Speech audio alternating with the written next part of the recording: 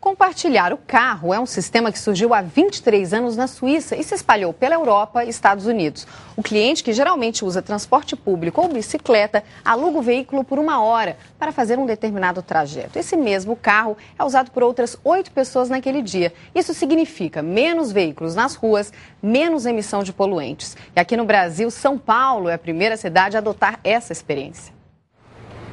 A Magrela é o principal meio de transporte do publicitário Carlos Aranha. Ele pedala até 20 quilômetros por dia em São Paulo. Mas em algumas situações, como na hora de fazer compras ou em dias de chuva, o Carlos precisa de um carro. A solução que ele encontrou foi o sistema de compartilhamento de veículos.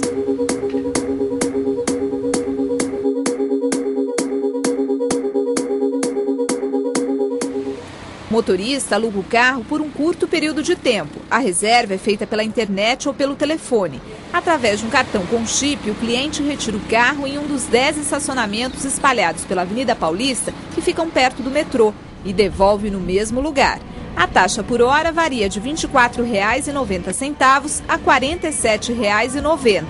Hoje o meu cliente ele tem entre 30 e 45 anos, né? É 60% homem, 40% mulher moram próximo ao local de trabalho deles ou já equacionaram a, a, ida e vinda ao trabalho, então vão de ônibus, de metrô e precisam do carro esporadicamente, né? Pelas contas do Carlos, ele economiza 500 reais por mês com o aluguel do veículo compartilhado, já que ele deixa de gastar com seguro, manutenção, combustível e IPVA de um carro próprio. São Paulo não dá mais para ter carro, né? Não sabe quanto tempo você vai levar para chegar. E segundo, que quando você tem um carro, o custo é tão alto, é tão grande. O sistema de compartilhamento de carros já existe em centenas de cidades europeias e americanas.